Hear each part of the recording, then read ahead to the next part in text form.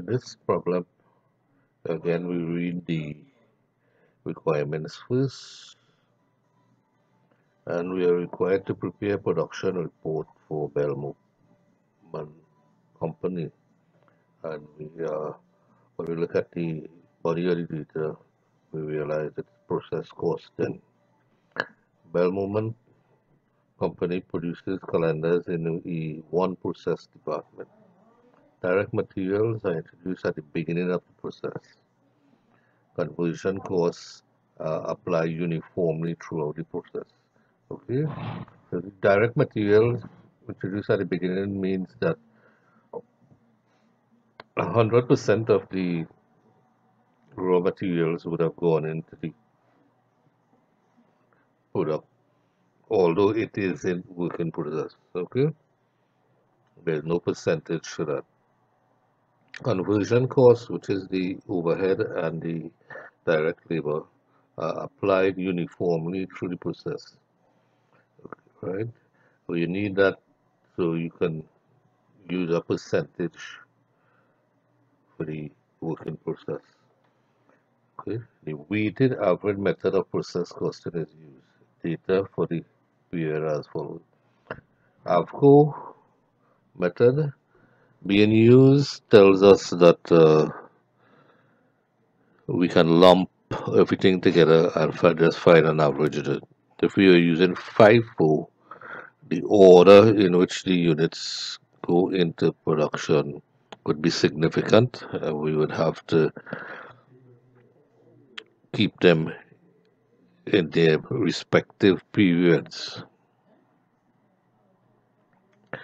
Okay, now the first thing we should do when working a problem like this is to account for the physical units.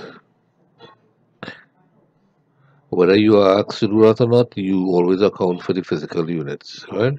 So the beginning work in process is 22 1500 let's see and we started into production in the period 130,000 it started in current period around 30,000.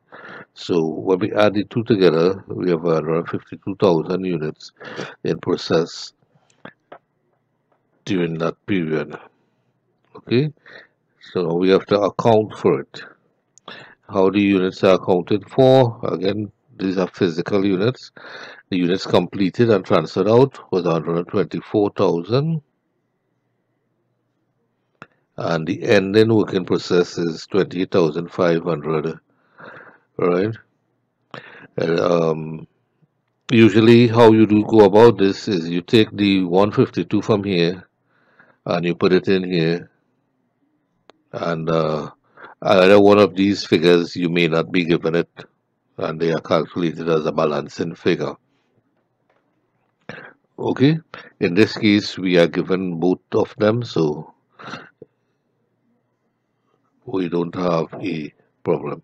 Now once these two balances you are able to go ahead with the rest of your course sheet. Next step is to calculate the equivalent units. And you can do it in a table like this. You take the, the physical units from here. And you include them here. And then you calculate the equivalent units for the materials and the conversion. Notice you do not have equivalent units for the total. What you have is um, physical units right? So the 124,000 that was completed and transferred out, we would, those would be at 100%, and um, you, would have the entire number going in here. The work in process, however, is not so, right? We have 28,500. Although we are not given a percentage for the material, we were told that all of it went into the process at the beginning of the period. That's why we can put the all of the raw materials here. And the conversion, however, only 60% has gone in as yet. So we find 60% of this and we get 17,100 equivalent units. Add them down and we'll get the 152,500 for materials and 141,100. Now this will only equal this if 100% of the materials is going in at the beginning of the process okay? And uh, if we add these two together we will not get this right? Okay so that does not balances anything. There's just two separate columns of figures. Okay the next step is to account for the costs the total cost first in the beginning work in process. We had 51,900 put it in here. And the conversion cost 20,174 we put it on the conversion. Then we add these two and we get this figure here as the total cost of the beginning work in process the amount that is added this period we have them here for direct materials 430 we put it in. And conversion cost 310 we put it in. So we get uh, when we add these two we will get a cost account for of 812,074 okay so this uh, is the cost that we have to account for in our production report. Right, this amount was the cost of the work in progress brought forward from the last period and we added on this amount this period so the total cost is 812 and 74 dollars next step is to divide the cost by the equivalent units to get the cost per equivalent unit. Okay the cost per equivalent units is equal to the total cost that is total cost of the material and the total cost of the conversion not this total here. Because you don't know the figure for here. Like I said this is not equivalent unit up here right so we divide it by the equivalent units so 481 900 from here divided by 152 500 we get three dollars and sixteen cents per unit of raw materials right so three dollars and sixteen cents raw material went into every unit equivalent unit when we divide the 331.74 by the equivalent units up here we get two dollars and 34 cents.